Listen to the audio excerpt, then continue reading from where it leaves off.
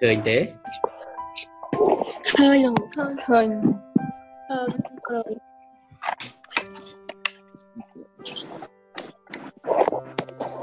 ឃើញ slide show ពេញហ្នឹងណាចាលពូបានដែរអូខេមេរៀនទី1ពាក់ព័ន្ធគ្នាជាមួយនឹង basic business statistics យើងមើលគ្នាយើងមានអ្នកណាដែលគ្លិកទៅជួយជួយយូតឲ្យតិចអោះគ្លិកទៅណាលើដល់ពេលដែលទៅនេះអាចញូតបានហើយបើមានចម្ងល់អីអាចសួរតែបើអត់ចម្ងល់ទេបិទសំឡេងចោលទៅអូខេមេរៀនទី1 និយាយពី concept ទូទៅតាក់ទងជាមួយនឹង marketing តាក់ទងជាមួយនឹង statistics អញ្ចឹងនៅក្នុងនេះគេមានសំណួរកលឹះនិង objective ចំណុចទី1គឺយើងត្រូវយល់នេះ how business use statistics គឺថាទេសចរជាផ្នែកមួយនៃ business អត់ផ្នែកមួយផ្នែកមួយរបស់ business យ៉ាបានលោកគ្រូវាជាផ្នែកមួយវាជាផ្នែកមួយរបស់ business អញ្ចឹងហើយ លើកយកចំណុចមួយគេនិយាយថា business uh, use uh, business for statistics for business ហើយយើងជាផ្នែកមួយនៅក្នុង business គេលើកយកអាហ្នឹងមកនិយាយដូចគ្នាអញ្ចឹងសម្រាប់និស្សិតដែលរៀន IBM ក៏ដូចគ្នាជាមួយនឹងនិស្សិតទេសចរគាត់អាចរៀនបានទាំងពីរចឹងណាចឹងនៅក្នុងនេះគ្រាន់តែគេបង្ហាញថាតើ business ហ្នឹងគេប្រើ statistic យ៉ាងម៉េចខ្លះយើងត្រូវយល់ពីប្រភេទនៃស្ថិតិ ដែលយើងគួរយកមកប្រើយ៉ាងម៉េចឲ្យតើអ្វីទៅហៅថាស្ថិតិនេះចំណុចទី2គេឲ្យយល់ពីលក្ខណៈនេះ basic vocabulary of statistics គេនិយាយពីពាក្យវាចស័ព្ទជាមូលដ្ឋានដែលគេប្រើនៅក្នុងស្ថិតិជួយបិទសម្លេងឲ្យផងអ្នកក្ដុងក្ដាំងបើគិតថាមានរំខានគួរបិទផងណា The type of data used in business យើងនិយាយត្រូវយល់ថាម៉េចទៅប្រភេទនៃទិន្នន័យដែលយើងត្រូវប្រើនៅក្នុងជីវកម្មហើយចុងក្រោយគឺរបៀប how to use Microsoft Excel នេះយើងត្រូវចេះប្រើ Excel ឬក៏ mini tape ពី this book នៅសភៅហ្នឹងគេណែនាំយើងពីរបៀបនៅក្នុងការកណនាឬក៏ក្នុងការសិក្សានៃការប្រើប្រាស់ទៅលើ Excel នៅជាមួយនឹង mini tape តែ mini tape យើងមិនបាច់ប្រើទេ វាអឺសេរីចាស់ហើយ Excel popular សម្រាប់យើងហើយក៏ងាយស្រួលប្រើជាង mini tape អញ្ចឹងរឿងសំខាន់គឺយើងឲ្យចេះប្រើទៅលើ Microsoft Excel នេះទៅបានហើយអញ្ចឹងហើយបានគ្រូនៅក្នុងនោះគ្រូបានបង្ហាញមិញថាបើសិនជាយើងអត់ចេះវីដេអូអត់ចេះ Excel ទេយើងអាចមើលវីដេអូបានហើយបើមើលវីដេអូគ្រូបញ្យល់ខ្មែរមិនយល់ទេមើលបរទេសទៅណាមើលភាសាអង់គ្លេសបរទេសផ្សេងផ្សេងទៀតឬក៏ពេលខ្លះគេមានកលឹះ វីដេអូដែលយើងចង់បានច្រើនដែលយើងចង់យើងអាចទៅ search មើលបន្ថែមមិនមែនតែមើលតែវីដេអូរបស់គ្រូមួយចេះទេមិនមែនទេអញ្ចឹងទៅមើលបន្ថែមព្រោះគ្រូស្រាវជ្រាវគ្រូធ្វើគ្រូអត់មានពេលដែលឆ្លៀតធ្វើផ្លែនផ្លែនទេណាអូខេអញ្ចឹងចំណុចនៃអ្វីទៅហៅថាស្ថិតិហើយហេតុអីបានចាំបាច់រៀនពីស្ថិតិនេះ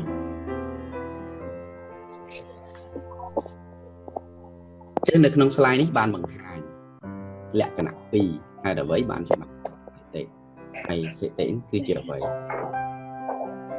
នឹងចំនួននេះយើងសួរ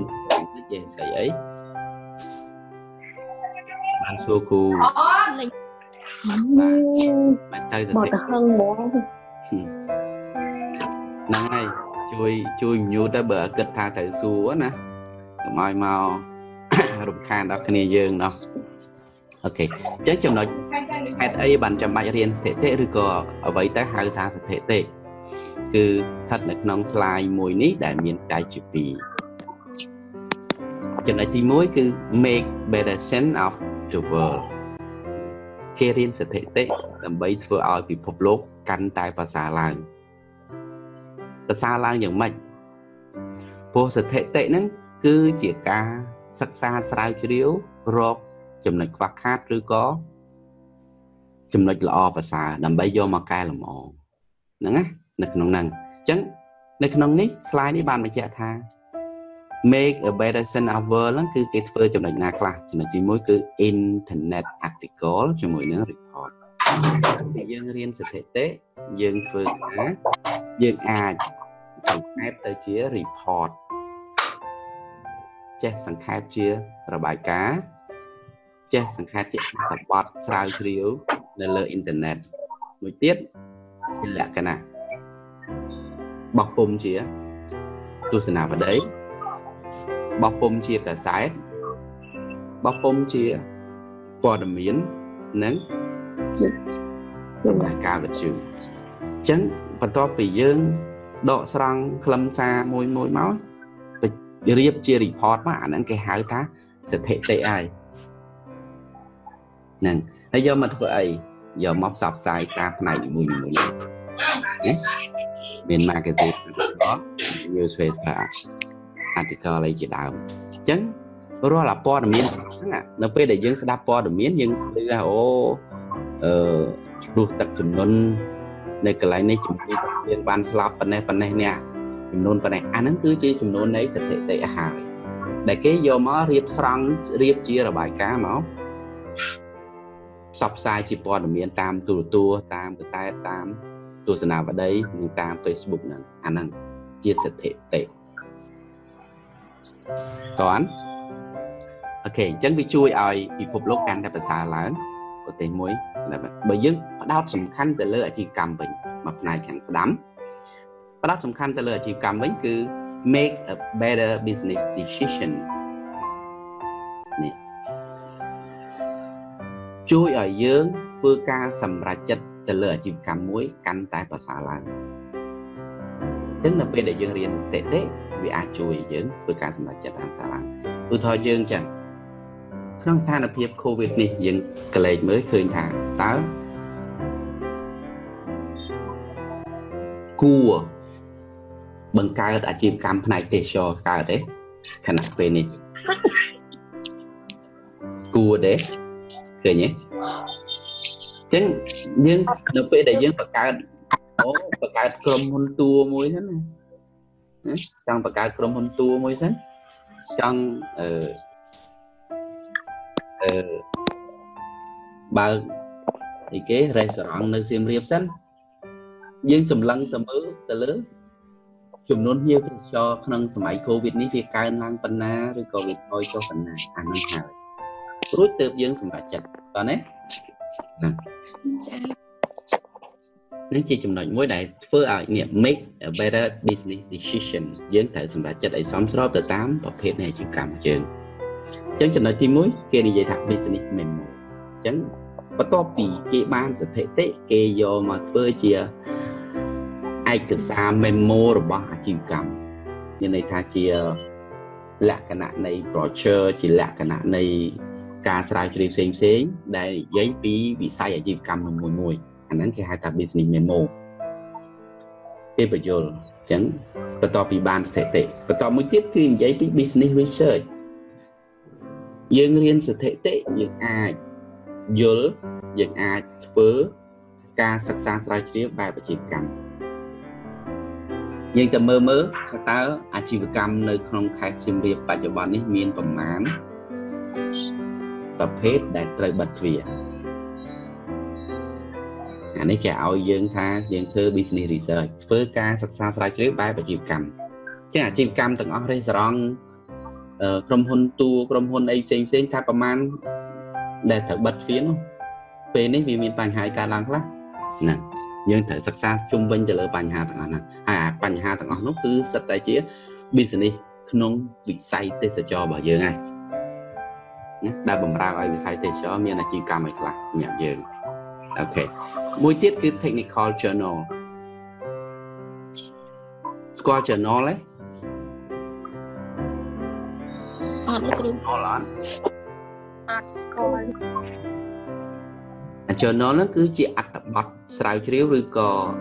article ស្រាវជ្រាវការពិត article ជាមួយនឹង journal ហ្នឹងគឺវាស្រដៀងគ្នាទេវិញនិយាយពីមួយអត្ថបទមួយអត្ថបទប៉ុន្តែ journal ហ្នឹងគឺសំដៅទៅលើការសិក្សាស្រាវជ្រាវដែលមានលក្ខណៈបែបវិទ្យាសាស្ត្រដែលគេទទួលស្គាល់ជាលក្ខណៈអន្តរជាតិអាហ្នឹង journal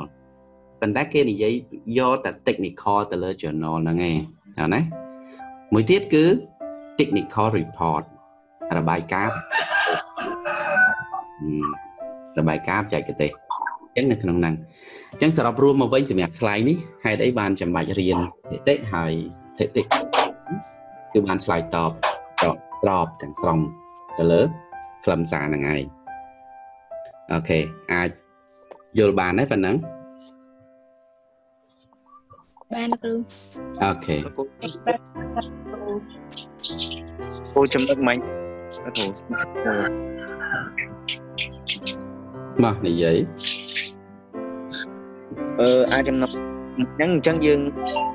អឺជាចំណោយរបស់អឺ static ពាក្យ stat ប្រហែលហ្នឹងលោកគ្រូអឺ statistic លោកគ្រូ Yeah what is statistic and why learn statistic learn statistic នឹងឯងលោកគ្រូដល់ពេលដល់ពេលយើងគិតទៅ statistic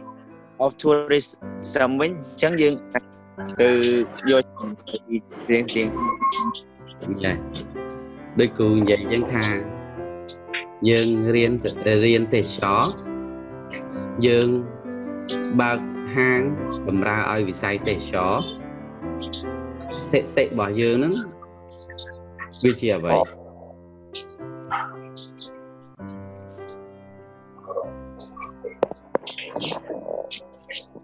ស្ថិតិនៃស្ថិតិនៃចំនួនភ្ញៀវដែលចូលក្នុងហាងអាហ្នឹងគឺជាស្ថិតិរបស់ business ហើយតើនេះយើងតែចាំថាតែជួយត្រូវយល់ទេសចរខ្លួនឯងឲ្យច្បាស់ថាទេសចរគឺជាអីវិញវាជាផ្នែកមួយនៃ business អត់ផ្នែកមួយជាក់ស្ដែងគឺវាជាផ្នែកមួយរបស់ផ្នែក business យើងមើលថាក្រុមហ៊ុនតួចំក្រុមហ៊ុនតួអាហ្នឹងអីគេ business អត់ actually វាជា business ប៉ុន្តែគ្រាន់តែវាប្រភេទ business ដែលបំរើឲ្យវិស័យទេសចរណាអូខេអញ្ចឹងរាល់តិន័យទាំងអស់អ្វីដែលគ្រូនិយាយនៅក្នុងនេះពាក្យថា business មានន័យថាវាចូលក្នុង វិស័យទេសចរយើងតែមួយហើយមិនសម្រាប់យើងសម្រាប់យើងជាអ្នកជំនាញខាងរៀននិស្សិតជំនាញផ្នែកទេសចរអញ្ចឹងយើង focus ទៅលើតែស្ថិតិផ្នែកទេសចរទៅបាទអូខេតើមានសំណួរទៀតទេអឺលោកគ្រូចង់និយាយថាអាចំណុចមិញហ្នឹងអាហ្នឹងវាតើតើនឹងរៀនស្ថិតិគឺដើម្បី ក្នុងចំណុច2ហ្នឹងមែនគ្រូគឺទី1ដើម្បីពិភពលោកកាន់តែប្រសើរហើយនឹងអាជីវកម្មហ្នឹងមែនគ្រូយ៉ា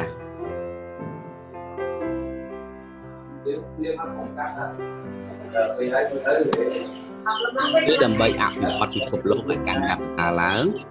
បើនិយាយចាចោះឲ្យខ្លាំងគឺ business ការធ្វើសម្រាប់ចិត្តទៅលើអាជីវកម្មមួយមួយឲ្យសមស្របឲ្យត្រឹមត្រូវ គូនិយាយពីគូនិយាយពីតូចពីចាប់ពីតូចមកយើងមិនបាច់ចំដល់និយាយពីអឺពិភពលោកទេជប់អាដល់ពិភពលោកនិយាយពីនៅខណៈពេលដែលយើងមានព័ត៌មាននៅក្នុងដៃ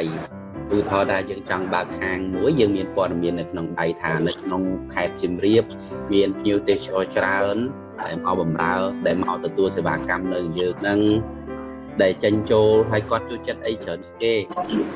គាត់ជួយចិនគាត់ជួយចិត្តអីយើង focus ទៅលើភ្ញៀវចិនគាត់ជួយចិត្តអីយើងបម្រើឲ្យគាត់ហើយយើងសម្រេចចិត្តទៅរកស៊ីទៅត្រូវមានបានហ្នឹងនៅពេលដែលរកស៊ីបានអញ្ចឹងធ្វើឲ្យសេដ្ឋកិច្ចធ្វើឲ្យការសម្រេចចិត្តនៃអាជីវកម្មរបស់យើងខំត្រឹមត្រូវអត់ប្រសើរអត់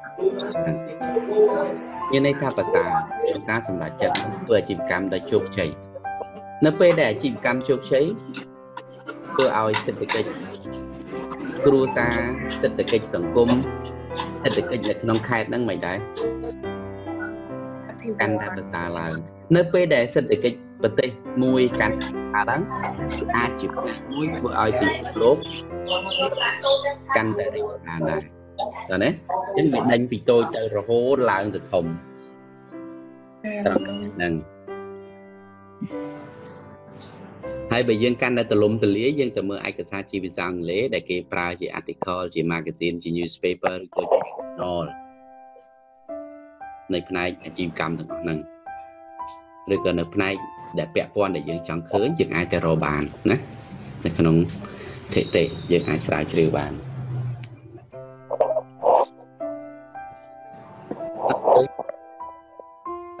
ទៅពី3ឆ្នាំទៀតទេវាទាញទៅចូលចំណុចតូចគេថា in business statistic has many important use ញ៉ានៅក្នុងអាជីវកម្មស្ថិតិត្រូវបានគេប្រើប្រាស់ដោយមានសារៈសំខាន់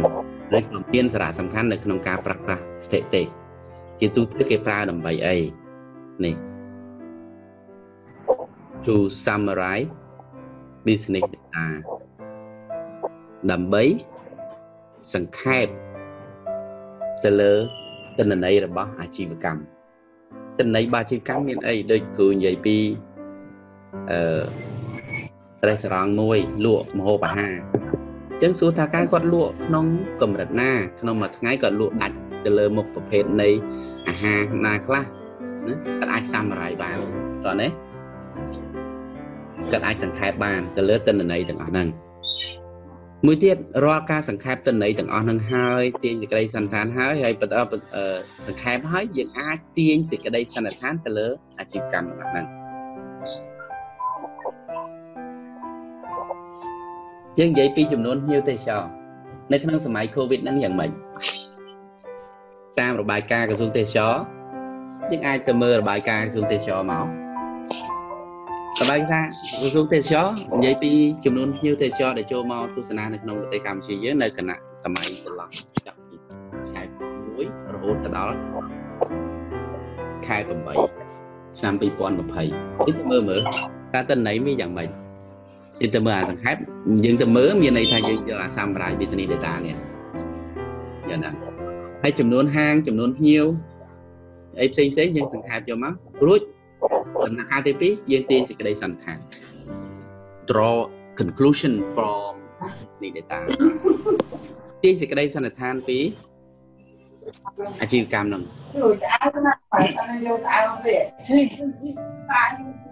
យត់សំឡេងទៅពេចបិទសំឡេងទៅបើមានរំខានបិទសំឡេងចាលោកគ្រូ ចាចាលោកគ្រូចាំនិយាយចាំចាំបើកវិញអឺអញ្ចឹងចំណុចទី2យើងទាញសេចក្តីសន្និដ្ឋានហ្នឹងយើងថាបើយើងបានរបាយការណ៍មកបើសិនជាភ្ញៀវធ្លាក់ចុះភ្ញៀវធ្លាក់ចុះចេះចេះចេះចេះចេះចេះភ្ញៀវអត់មានចូលទេដោយសារអញ្ចឹងយើងអាចទាញសេចក្តីសន្និដ្ឋានបានហើយថាអាជីវកម្មប្រកាសជាអាចបិទទ្វារនៅគណៈពេលដែលភ្ញៀវបន្តធ្លាក់ចុះជារៀងរហូតបែបនេះ ហ្នឹងហ្នឹងជាសេចក្តីសន្និដ្ឋានរបស់យើងហ្នឹងតាមរយៈទិន្នន័យយ៉ាងគេយកស្ថិតិយកមក summarize data ហើយយើងទាញសេចក្តីសន្និដ្ឋានឧទាហរណ៍ថាបើយើងថ្ងៃនេះយើងលក់ដាច់បាននៅក្នុងរេស្តូរ៉ង់របស់យើងយើងលក់ដាច់អីគេយើងលក់អឺអាហារបែបខ្មែរមហូបខ្មែរមហូបខ្មែរដែលគេជត់និយមជាងគេកកូអញ្ចឹងទៅអាម៉ុកអីអញ្ចឹងទៅគេភ្ញៀវមកគាត់ មានតម្រូវការផ្នែកតាមមហូបហ្នឹងអញ្ចឹងយើងអាចទាញសេចក្តីសន្និដ្ឋានបានថាភ្ញៀវគាត់ចូលមកគឺគាត់និយមហ្នឹងអញ្ចឹងយើងត្រូវធ្វើយ៉ាងម៉េចដើម្បីឲ្យអាអាមុខមហូបពីរមុខហ្នឹងកាន់តែល្អណាដើម្បីផ្គត់ផ្គង់ភ្ញៀវឲ្យបានតាន់ពេលវេលាឲ្យសមទៅនឹងតម្រូវការហ្នឹងហ្នឹងស្ថិតិហើយក៏ពិតយើងដឹងហើយតែគ្រាន់តែថាយកមកញែកនឹងឃើញអូខេទី2 make reliable focus about business activity នេះធ្វើការព្យាករដែលគួរឲ្យទុកចិត្តអំពីសកម្មភាពអាជីវកម្មអញ្ចឹងគឺត្រឡប់ទៅចំនួនភ្ញៀវទេសចរវិញចំនួនភ្ញៀវទេសចរនៅគណៈពេលតែលើចំណុចនេះយើងព្យាករតាមរយៈតិន័យហ្នឹងគឺយើងព្យាករពីភ្ញៀវទេសចរនៃលំហភ្ញៀវទេសចរយើងជាក៏ដូចពិបាក នឹងការនាំចូលហើយព្រោះកម្មភាពកូវីដនៅប្រយុទ្ធប្រឆាំងនៅមានឡើយទេអញ្ចឹងចំនួនចំនួនភ្ញៀវទេសចរគឺនឹងអាចធ្លាក់ចុះឬក៏អាចនៅឆេកម្រិតប៉ុណ្ណឹង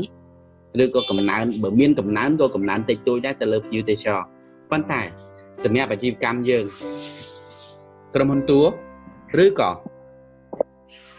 ត្រេសួរបង្កើនសកម្មភាពធ្វើ មុខអាហារបន្តអត់ទេនេះទៅបន្តអត់ទៅជាយាមរើបុគ្គលិកថែមយូរទៅចូលមកហើយហ្នឹងហើយបរិចមុខរបរបរិចបរិចមុខមហូបឲ្យបានច្រើនអាចទៅរួចទេក្នុងសម័យ Covid នេះអញ្ចឹងมันអាចទៅរួចទេលោកដាច់ដាច់ប្រូ អាចមកពីអ៊ីនធឺណិតអ៊ីនធឺណិត slow យ៉ាវាវាខ្ជិលវាដែរចឹងយើងត្រូវព្យាករតាមរយៈភ្ញៀវទេសចរការព្យាកររបស់យើងសកម្មភាពអាជីវកម្មរបស់យើងនឹងអាចបើសិនជាបន្តបិទអឺបន្តបិទសកម្មភាពភ្ញៀវទេសចរមិនមានលំហូរចូលបន្តទេរាល់ activity ដែលយើងព្យាករទៅលើអាជីវកម្មហ្នឹងប្រកាសជាបិទទ្វារហើយយើងមិនអាចភេលុយឲ្យបុគ្គលិក រយៈពេល4 5ខែ100%ពេញទេហើយឬក៏50%ពេញរហូតទៅទេហើយមិនដឹងថាសកម្មភាពយ៉ាងណាទេអញ្ចឹងក្រុមហ៊ុនមួយចំនួនមួយចំនួននៅក្នុងប្រទេសយើងក៏ខ្លះក៏ខូចដែរផ្អាកបុគ្គលិកមួយរយៈសិនអាសិនទៅគាត់ទៅពេលហើយសកម្មភាពនឹងតែម្ដងអញ្ចឹងណាយើងយូរដល់មកដល់ក៏លើកចេញមុនឡើយ អឺពេកពេកដូចគោទេហើយចំណុចទី4នេះចំណុចទី4យើង improve business process យើងយ៉ាងម៉េចគោគោនិយាយលេខមានលេខ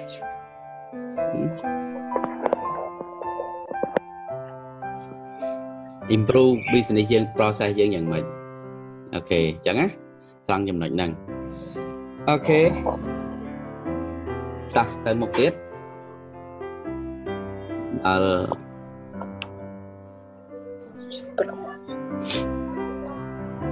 ចូលដល់ចំណុចទី2 different brand of statistics are used in business ជាទូទៅតន័យពីរប្រភេទដែលគេត្រូវប្រើប្រាស់នៅក្នុងអាជីវកម្មចឹងតន័យពីរប្រភេទមាន descriptive statistic ជាមួយនឹង inferential statistic ចំណុចទី1គេថាស្ថិតិគេបែងចែកជា2ផ្នែកទី1ស្ថិតិបែបពិពណ៌នាស្ថិតិបែបពិពណ៌នាគេធ្វើយ៉ាងម៉េចគេអាចបានទិន្នន័យហ្នឹងតាមរយៈការប្រមូលទិន្នន័យការសង្ខេបទិន្នន័យបង្ហាញទិន្នន័យនិងវិភាគទិន្នន័យ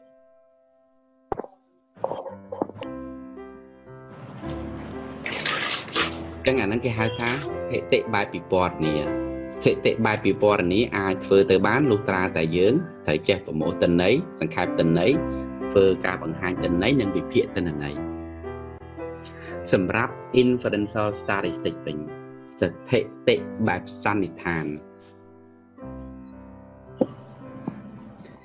ស្ថិតិបែបសន្និដ្ឋាន គេប្រើប្រាស់ដើម្បីប្រមូលទិន្នន័យ ពីក្រុមតូចតូចរួចទាញសេចក្តីសន្និដ្ឋានទៅដល់ក្រុមធំរួចទាញសេចក្តីសន្និដ្ឋានដល់ក្រុមធំឧទាហរណ៍ដូចគ្រូ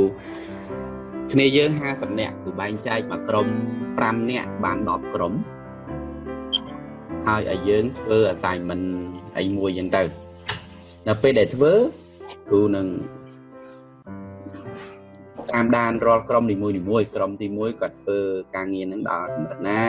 គាត់យល់បានប្រមាណក្រុមទី2ប៉ុណ្ណេះក្រុមទី3ប៉ុណ្ណេះរួចគូសន្និដ្ឋានថានៅក្នុងថ្នាក់យើងទាំងមូលសិតតអ្នករៀនស្ថិតិចេះយល់ដឹងច្រើនណាស់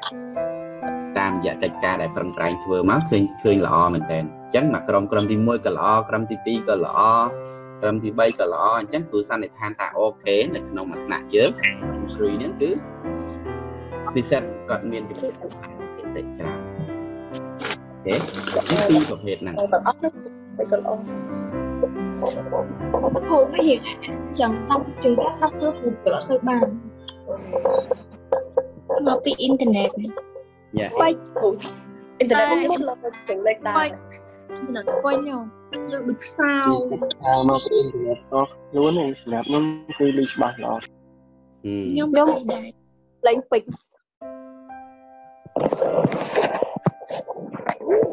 បើជិះដឹងស្អីគេទេ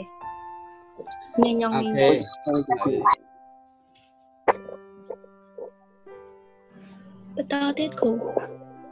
គ្រូទៅតែ2 3 slide ទៀតទេគ្រូមានមកប្រែកអត់គ្រូទៅតែ2 3 slide ទៀតទេ ហើយសប្តាហ៍ក្រោយយើងត្រៀមឲ្យបានមុនម៉ោង8ណាតាំងពីអាហារតាំងពីអីផ្សេងផ្សេងហើយយើងម៉ោង8យើងរត់រហូតទៅដល់ម៉ោង10អីចឹងទៅ10កន្លះយើងអត់មាន break ទេព្រោះគ្រូរបស់គ្រូអត់ break ទេគ្រូប្រេកខ្លះហើយ3ម៉ោងប្រែកអូខេទៀតតោះតិចទៅបន្តិចទៀតពីរ3 slide ទៀតដល់ហើយមើលមួយ ដល់ slide ទី8នេះលឿនសល់3 slide ទៀតបាទគ្រូមកអញ្ចឹងបន្តពីចំណុច2មិញនិយាយពីទេទេបែងចែកជាពីរប្រភេទមែនទេចាគ្រូទី2ពីរប្រភេទមានអីខ្លះអឺ នេះព័ត៌មាននៅបែបសន្និដ្ឋានអូខេសពណ៌នេះបែបសន្តានអញ្ចឹងនៅក្នុងអាពីរសន្តានានឹងអឺពីពីពណ៌នេះបើមួយសន្តានគេយកមកញែកធ្វើសកម្មភាពឲ្យយើងធ្វើអញ្ចឹងវាប្រាប់ចា these two these two brains are just important activity ទៅលើសកម្មភាពឯខ្លះនេះសំខាន់វាដែលសំខាន់នៅយកមកធ្វើនោះគឺសង្ខេបរាល់ទិន្នន័យរបស់អាជីវកម្មអញ្ចឹងគេសង្ខេបយកមកធ្វើមិនខ្លះនេះគេមានវិធីសាស្ត្រនៅក្នុងការបកស្រាយគេប្រើដើម្បីបង្កើតទៅជា chart និង table បង្កើតទៅជា chart ជាតារាងជាជាជាក្រាបអីជាដើមអាហ្នឹងគេយកមកបង្ហាញអញ្ចឹងចំណុចទី2គេ draw conclusion from business data នេះតា inferential method ដែលគេប្រើ តាមរយៈទិន្នន័យទាំងអស់ហ្នឹងគឺយើងអាចធ្វើសេចក្តីសន្និដ្ឋាន ដោយប្រើ inferential method វិធីសាស្ត្រនៅក្នុងការសន្និដ្ឋានដើម្បីទាញសេចក្តីសន្និដ្ឋានថាក្រុមនឹងធំក្រុមនឹងតូចតូចហ្នឹងវាមិនអញ្ចឹងគ្រូទីសេចក្តីអាសន្និពេលតាគឺវីដេអូឲ្យក៏អត់ឃើញដែរ Hello អា iPhone ហ្នឹងគឺទ្រាំបន្តិចតើស្ងាត់បន្តិចទៅពួកយើង លោកគ្រូបាទអឺឲ្យគ្នាយើងបិទអឺអាម៉ូតហ្នឹងទាំងអស់ហើយលោកគ្រូឲ្យបិទហើយប៉ិនមិនព្រមបិទសោះចាំមើលគ្រូបិទវិញចឹងហើយចាំពេលលោកគ្រូសួរចាំឆ្លើយហ្មងណាឆ្លើយវិញបានបើចាំពេលដែលសួរចាំបើកខ្លួនឯងវិញមកឥឡូវគ្រូ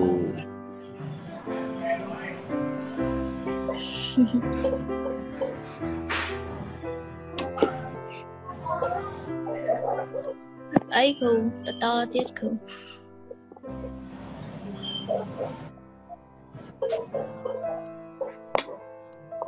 ហឹម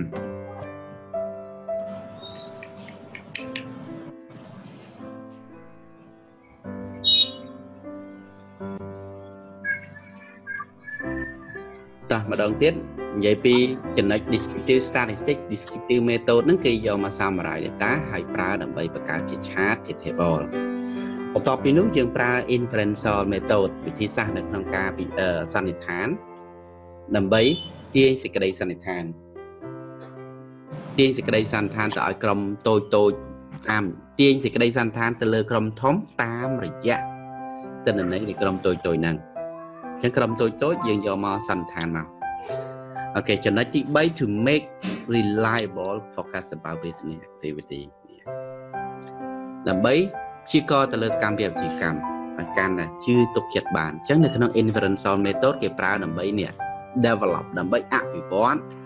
នេះ quantify and improve accuracy of predictive method model គេឲ្យយើងព្យាករណ៍តាមរយៈ method ហ្នឹងគឺអភិវឌ្ឍទៅលើ model ទៅលើចំនួននៃផ្សេងផ្សេងហើយ បង្កើតទៅជា model នៃការព្យាករណ៍ឧទាហរណ៍ថាបើសិនជាអឺភ្ញៀវទេសចរនឹងនៅតែបន្តធ្លាក់ចុះអញ្ចឹងហាងនៅក្នុងអាជីវកម្មប្រកាសជាបិទម្ដងមួយម្ដងមួយម្ដងមួយម្ដងមួយអានេះជា logic ចឹងឯងអញ្ចឹងតាមរយៈ predictive model គេមាន model មានអីផ្សេងទៀតដើម្បីយកមកធ្វើអូខេចំណុចទី4 improve business process involve managerial approach skill like six sigma នេះដើម្បីបង្កើនឲ្យអាជីវកម្មដំណើរការអាជីវកម្មកាន់តែប្រសើរឡើង គឺពាក់ព័ន្ធគ្នាជាមួយនឹងការធ្វើសេចក្តីសម្រេចចិត្តនៅក្នុងការគ្រប់គ្រងក្នុងការគ្រប់គ្រងអញ្ចឹងការគ្រប់គ្រងរបស់យើងយើងត្រូវទៀមទីឲ្យមានការសម្រេចចិត្តប្រសើរឡើងខណៈពេលដែរអឺទទួលបានទិន្នន័យទទួលបានព័ត៌មានច្បាស់លាស់ហើយអាហ្នឹងយើងធ្វើសេចក្តីសម្រេចចិត្តមកថាគួរបិទហាងគួរបន្តបើកហាងគួរបរិយាហាងឬក៏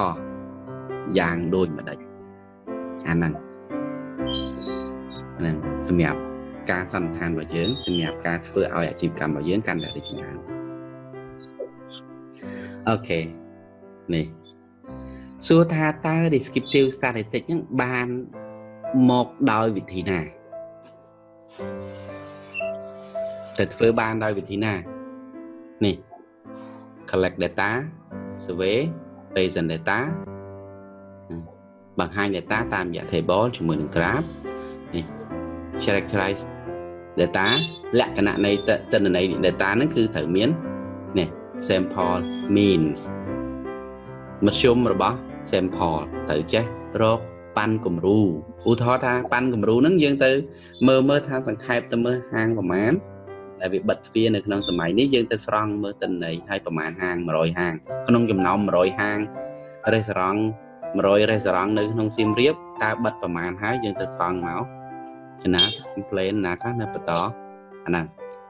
ដែលត្រូវគិតយើងអាចទាញសេចក្តីយោរួចយកមកបង្ហាញនៅក្នុងក្រាបនៅក្នុង table ហើយឆាតឆាតអីចឹងទៅណាហើយទាំងអស់ហ្នឹងគឺធ្វើបានតាមរយៈ survey នេះចុះស្ទុំមកទៅលោកគ្រូអឺអា3ចំណុចនេះតាក់ទងនឹងអីគេមិញគ្រូ នេះនេះនេះនេះនេះ descriptive statistic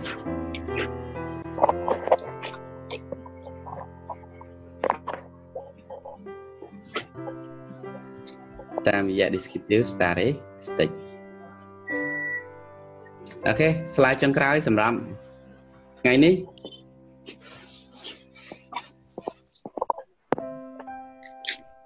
slide ចុងក្រោយសម្រាប់ថ្ងៃនេះគឺ inferential statistic នេះស្ថិតិបែបសន្និដ្ឋានអញ្ចឹងចំណុចទី1គេ focus ទៅលើ estimation ការប៉ាន់ស្មាន ការប៉ាន់ស្មានរបស់គេគេនេះគេប៉ាន់ស្មានទៅលើមធ្យមរបស់ population តាមរយៈមធ្យមរបស់ sample ចឹងមុននឹងយើងយល់ពីអាហ្នឹងត្រូវយល់ពីមិនទៅហៅថា population មិនទៅហៅថា sam sample យើងដែលភ្លក់មហូបអត់ពេលដែលយើងស្លយើងដែលភ្លក់អត់តែភ្លៀងភ្លក់ប្រហែលស្លាបព្រា តិចមួយបន្តិចភ្លក់បន្តិចគ្រូហើយភ្លក់ដើម្បីចង់ដឹងអីរសជាតិថាឆ្ងាញ់មិនឆ្ងាញ់ស្ទើរអីខ្វះអីមែនទេទៅពេលម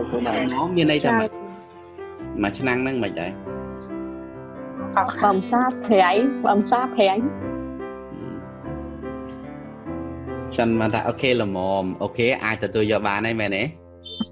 ហើយអ្វីដែលយកមកគឺ តម្លតែអាទឹកសម្លតែមួយស្លាបព្រាហ្នឹងឯងមែនសម្លមួយស្លាបព្រាដែលយើងយកមកដុសមកភ្លក់បន្តិចហ្នឹងណាអាហ្នឹងគេហៅថាសែមសែមផលសឡមួយសឡមួយឆ្នាំងគេហៅថា population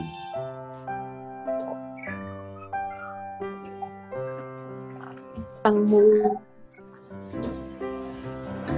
ឧទាហរណ៍យើងទៅធ្វើរឿង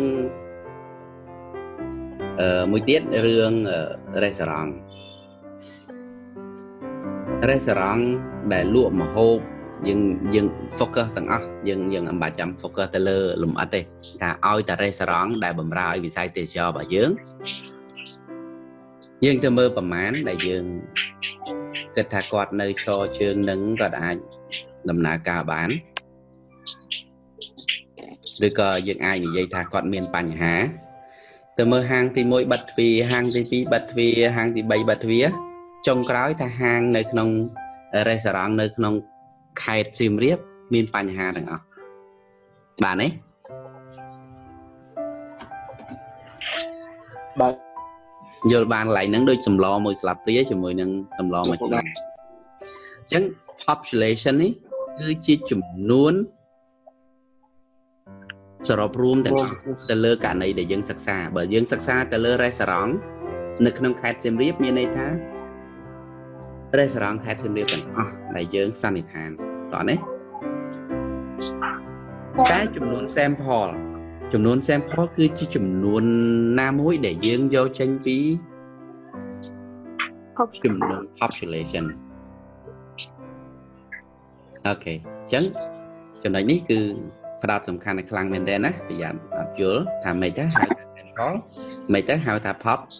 population អញ្ចឹងដើម្បីទាញសេចក្តីសន្និដ្ឋានបានគេត្រូវយកគេផ្អែកទៅលើ sample នៃចំនួនដែលយើងអឺយកមកសាកល្បងយកមកពិនិត្យហ្នឹងគឺអាចទាញសេចក្តីសន្និដ្ឋានថាអត់ population ទាំងអស់ហ្នឹងថាវាមានលក្ខណៈបែបណា restaurant មានបញ្ហាទាំងអស់ សម្លមួយឆ្នាំងហ្នឹងគឺរសជាតិល្មមទាំងអស់មិនមែនមួយជាហៀងឆ្នាំងប្រៃមួយជាហៀងឆ្នាំងសាបទេ ក្នុងមួយឆ្នាំងហ្នឹងគឺអញ្ចឹងទាំងអស់តោះនេះអូខេសន្និដ្ឋានមួយទៀតគេអាចសន្និដ្ឋានតាមរយៈការធ្វើសមត្ថកម្ម hypothesis testing ការធ្វើ test សមត្ថកម្មអញ្ចឹង test សមត្ថកម្មគេ test នេះ claim that the population mean weight is 100 20 pound គេចង់តេស្តថាបង្ហាញថារាល់ទម្ងន់នៃ population ហ្នឹងជាមធ្យមគឺ120 pound 120 pound អញ្ចឹងតាមរយៈ120 pound យើងត្រូវធ្វើតេស្តវាតេស្តមើលថាតើវាពិតប្រាកដអត់តើណាតាមសមត្ថកម្មគេប្រាប់សមត្ថកម្មគេប្រាប់មកថាអូ អឺនិស្សិតទេសចរយើងរៀនសិតិបកាយណាជាពិសេសគឺអឹមស្រីបកាយសមត្ថកម្មបន្ទុកបានសិតតែ80ឡើងលើចឹងអឹមស្រីទេសចរអញ្ចឹងតាមរយៈសមត្ថកម្មអាហ្នឹងគ្រាន់តែជា clear មួយគេនិយាយហ្នឹងអូអាហ្នឹងជាសមត្ថកម្មមួយហ៎ ចឹងយើងចុះទៅធ្វើការសិក្សាស្រាវជ្រាវអញ្ចឹងគ្រូនៅគឺគ្រូឃើញអញ្ចឹងគ្រូដាក់ប្រឡងផ្លាច់ដាក់ប្រឡងកន្លះម៉ោង1ម៉ោងអីហ្នឹងទៅតេស្តមើលមើលថាវាពិតអត់អញ្ចឹងគ្រូដាក់បន្ទុកតែ80នឹងឬក៏ដាក់បន្ទុក100ទៅតែយើងយកបាន80នឹងអត់អញ្ចឹងណាហើយតេស្តហ្នឹងប្រឡងមើលអូខេអញ្ចឹងដល់ពេលលទ្ធផល តាមរយៈហ្នឹងមកគ្រូអាចសន្និដ្ឋានបានថាអូខេអ្វីដែលគេលើកឡើងហ្នឹងពិតត្រឹមត្រូវសរុបរួមមកវិញ inferential statistics គឺប្រើដើម្បីទាញសេចក្តីសន្និដ្ឋានពីក្រុមតាមរយៈក្រុមតូចតូចទៅក្រុមធំម្ដងទៀតសិទ្ធិបែបសន្និដ្ឋាននេះគឺធ្វើឡើងដើម្បីទាញសេចក្តីសន្និដ្ឋានទៅលើក្រុមធំតាមរយៈ ទិន្នន័យក្រុមតូចតូចយល់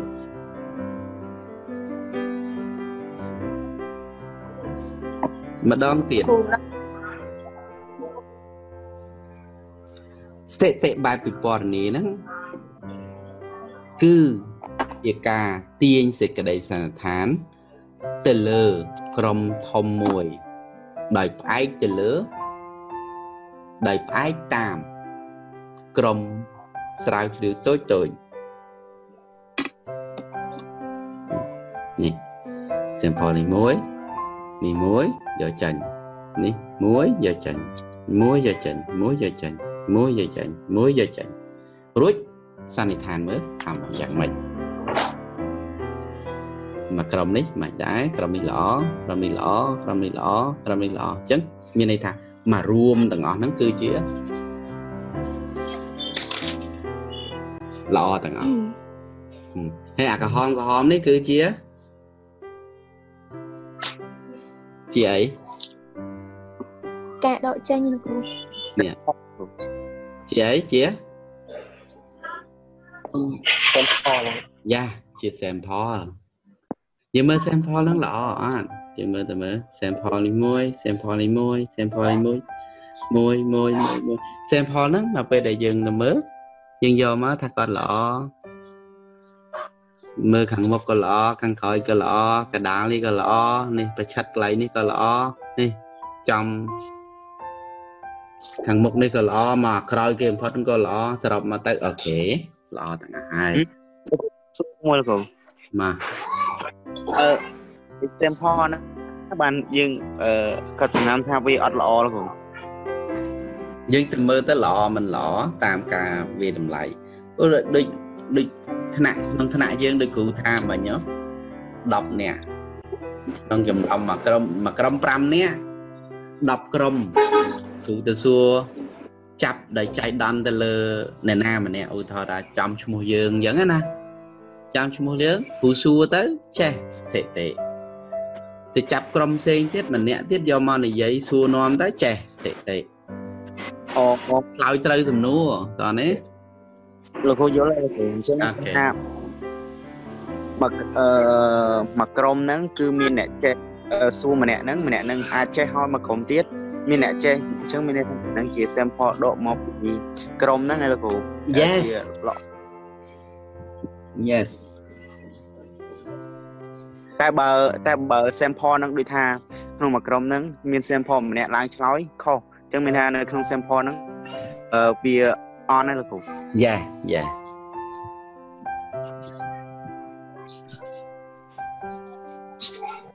យល់បានហើយណាយល់យល់លោកគ្រូយល់អូខេអញ្ចឹងតាក់ទងជាមួយនឹងចំណុចទី2ទី3យើងចាំសប្តាហ៍ក្រោយចាំបញ្ចប់ឬក៏ចាំបញ្ចប់តាមវីដេអូដែលគ្រូនឹងថតផ្ញើឲ្យអូខេ ហ្នឹងហើយអូ complete ឈប់ឈប់ឈប់ឈប់ឈប់អាចចេញណាគូ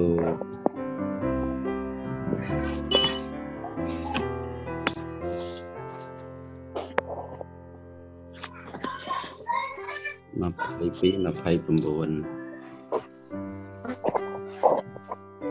អូខេ29នេះចាញ់ តោះអញ្ចឹងសម្រាប់សម្រាប់ថ្ងៃនេះប៉ុណ្ណឹងហើយសប្តាហ៍ក្រោយយើងនឹងជួបគ្នាបន្តតទៅជាមួយនឹងមេរៀនអាចយើងចូលមេរៀនទី2អញ្ចឹងគ្រូបន្ទាប់ពីគ្រូចប់វីដេអូទី1នេះទៅគ្រូនឹងផ្ញើឲ្យហើយយើងអាចតយកមើលបន្ថែមអូខេអញ្ចឹងមានប៉ុណ្ណឹងទៅសម្រាប់ថ្ងៃនេះអញ្ចឹងសម្រាប់ទាំងអស់គ្នាចាស់អញ្ចឹងណាបាទលោកគ្រូចាលោកគ្រូចាលោកគ្រូចាលោកគ្រូ Yeah.